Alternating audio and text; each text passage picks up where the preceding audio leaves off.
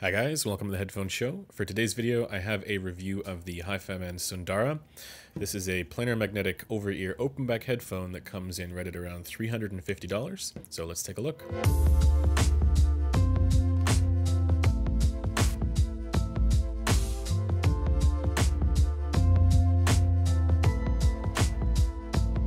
This review unit was sourced through headphones.com. I'll leave a link to the product page as well as the community forum section where you can see what everybody else is saying about this as well. So last year, right around July and August, I was able to review the HiFiMan Sundara. I got onto one of the loaner programs through HiFiMan and they actually sent me two units. So I put it through its paces extensively and found that I really liked the headphone. It had a few minor issues like, for example, a little bit of bass roll off, and then a little bit of upper mid-range shout, but for the most part it was what I considered to be a benchmark at the $350 price range. And now, for the past couple of weeks, I've been hearing rumors of a few stealth revisions that have been happening to some of the HiFiMan headphones including the Sundara, the Ananda, and the Arya. If you're wondering what a stealth revision is, often manufacturers will make small tweaks in the manufacturing process, either to incorporate customer feedback or in some cases because it's cheaper and easier to do, uh, makes it a little bit more efficient to produce. Uh, and they don't always tell us, and a lot of the time, whatever changes get made aren't made public because they're not releasing version 2 of the same headphone or version 3 or whatever it ends up being. Uh, with the HiFiMan Sundara, there have been some stealth revisions.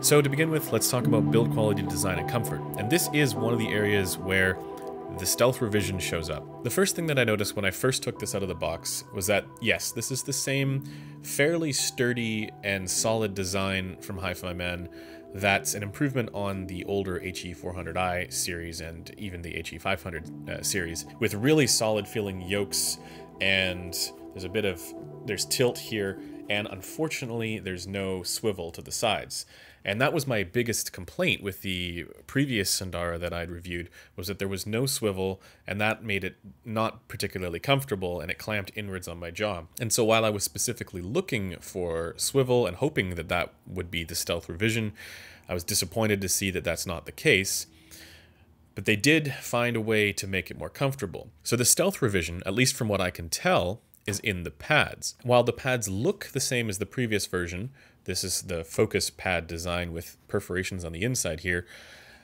The material for the outside is not as sturdy feeling. It feels a little bit more flimsy, a little bit not quite as solid. But at the same time, the front part here is also thinner, so it feels like the angle is more extreme.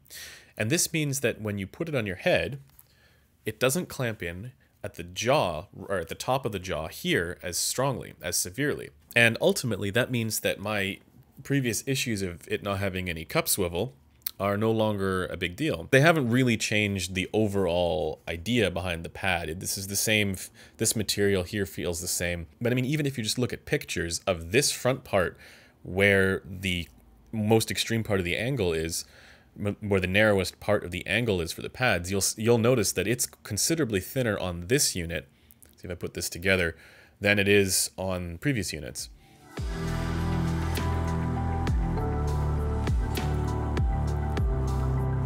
Obviously for performance, this is the same as it was before. This is exceptionally well detailed for the price. You get incredible instrument separation and structural definition for the images. I'm consistently blown away with how good this performs for the price that it comes in at. And I don't think there's any other headphone that's around this price point that even comes close to this. The slam and punch on this is surprisingly good and considerably better than most planars that I've heard, even that cost quite a bit more money than this. Uh, this slams harder than planars that cost $2,000.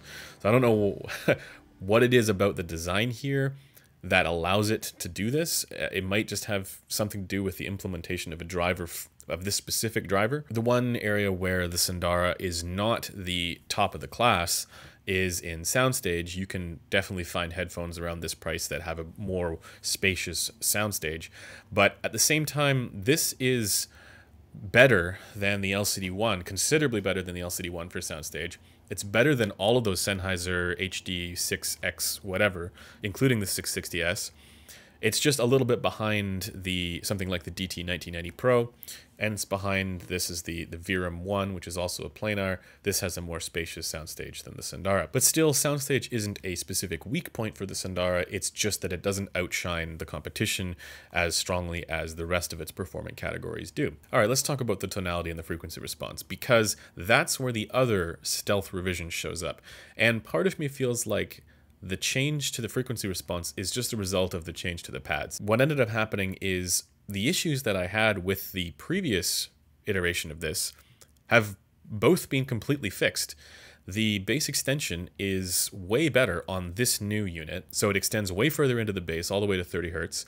And then the upper mid-range shout that I kept hearing is completely gone. So for me, this is almost the ideal tonality. This is almost a perfect linear frequency response, or what I might consider to be a perfect linear frequency response. And certainly it measures extremely well both on the HEQ compensation and the HPN compensation, which remember the Mini DSP ears rig is not an, an industry standard or accurate, accurate measurement system. But at least you can see how this measures differently and markedly better than the previous units that I had reviewed. And so that once again indicates to me that this stealth revision here may have been intentional. It may have been deliberate. And the result is that this is now a better headphone, yes, even than the benchmark that I thought it was. This is now even better than that previous unit that I'd reviewed. And for anybody who owns one of these and you're like, well, I wish that I had known that and gotten this revision, uh, I think you you'll probably be okay if you just end up finding pads like this. Now with that said, it's not a huge change to the frequency response and all the other good things about the Sundara's frequency response are still there. And so you get a mid-range that isn't particularly withdrawn or recessed. It's it's a fairly again neutral mid-range depending on how you define neutral. And then the treble is fantastically well balanced here. And what I mean by that is that relative to a compensation that's based on something like the Harman target, there's a relatively counterclockwise tilt to it, uh, but it's not overdone. It's very close. And at the same time, there's enough energy there to make things interesting. So it's not this softer and withdrawn and relaxed presentation with a warm bass shelf or anything like that. This is a much more forward and analytic headphone, but it's not fatiguing with over sharpening in the consonant range. Your S's and T's and F's this is some of the best presentation of the consonant range I've ever heard. It's all extremely detailed, extremely resolving, and it's you don't hear any etch or grain. There's no problems there whatsoever. The only issue with the treble, if there is any at all, and really this is like the most nitpick thing I can possibly think of because I'm trying to be as critical as I can here, and it's challenging to do when something as good as this shows up. The only thing that I could nitpick with the treble is that the air qualities uh, above 11k hertz are not quite as emphasized and present as they are with the Audeze LCD1.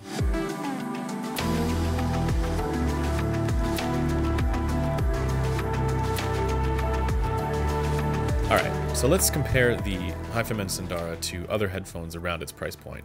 And this again comes in right at around $350 as does the Verum 1 here, and the Audeze LCD 1 is $400. Amongst these mid-level planars, yeah, the HiFiMan Sundara is absolutely my favorite.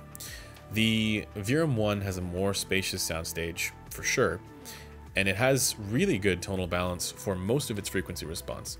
But the treble for the Verum 1 is a bit splashy, it's a little bit etched, the tonal balance is just not quite right in the treble, uh, and that's with both the leather pads here, and I also used the suede pads to try that. With the suede pads, it's way worse. Uh, with leather pads, it's much more where I'd want it to be. And then I also find that the Verum 1 at the upper range for the treble, it, it does roll off a little bit, or it's a little bit you know, pulled back, withdrawn. And while I can understand why some people might like that, to me, the tonal balance for this, it just, your cymbals and percussive instruments crash through so much nicer. And then similarly with the LCD1, and perhaps even better depending on which area of the treble you value more, the the, everything about the treble with this is also fantastic, but the main drawback with the LCD1 is that its technical performance just isn't on the same level as the HiFiMan Sundara. For everything from detail to speed to punch and dynamics to soundstage, imaging, everything about the Sundara is just categorically better. And that's even when you do use the reveal plus here. And of course, I don't think we should be surprised by that because look at how this look at how different the size is for these, right? So this is I mean these are totally different things.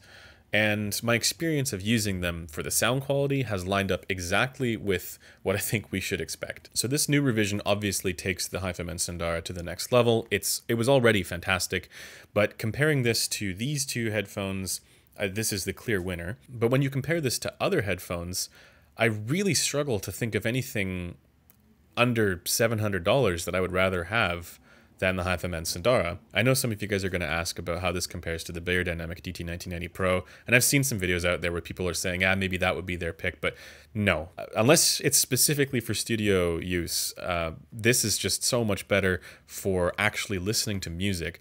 It's better for just about every performant category except for soundstage. So the instrument separation, structural definition for images, surgical precision, detail, and I know some of you guys are going to be thrown off by that, but I struggle to think that that headphone's reputation for being highly detailed is for any other reason other than the massive 8.5 kHz peak in the consonant range where the S's, F's, and T's are that over sharpen that range. So it should be obvious by now that I absolutely love this headphone. And it's at the point where I would I'm I would really like to buy it. And maybe I will. And in my mind, this, especially this new revision, when whenever this happened, where the where they changed the pads or what it, when they changed the material a little bit, uh, for the frequency response that this has, coupled with its already excellent technical performance, this needs to be considered the new value benchmark, the same way that the HD6XX was at you know $220 or whatever it is right now. For the longest time, it was like you buy that headphone because it's better than everything else under $500. And now I think that's the Sundara, and it probably even is better than stuff that costs a lot more than that. So yeah, I have absolutely no reservation about recommending the HiFiMan Sundara. If this revision is any indication of what the other ones have had, uh, you know, I need to evaluate those first, but there's a very good chance that I end up buying this as well because this needs to be the thing that other headphones, especially at this price range or under $700 or $500 or whatever, everything else needs to be evaluated against this. The one thing to still keep in mind is that this is still HiFiMan, and so the build quality question is still valid. We don't know how well this is going to do a year from now. We don't know how well this is going to last. Who knows how reliable the drivers are in here, but based on the way that everything else feels here, I think this is a solid step up from the previous HiFiMan headphones that constantly failed, I don't really think that there's as much to worry about with something like this. So yeah, if you were trying to find the best value, the best bang for the buck headphone available right now, my money is on the HiFiMan Sundara. I don't think that there's anything that outperforms its competition to the degree that this does for the range of competition that it does. I do also have to mention that this does require a bit more power than something like the LCD1. Not as much as the Verum one, but I would not uh, use this without an amplifier. I think that's it's a requirement. All right, that does it for this review. Thanks for taking the time to watch it, and I will see you guys in the next one.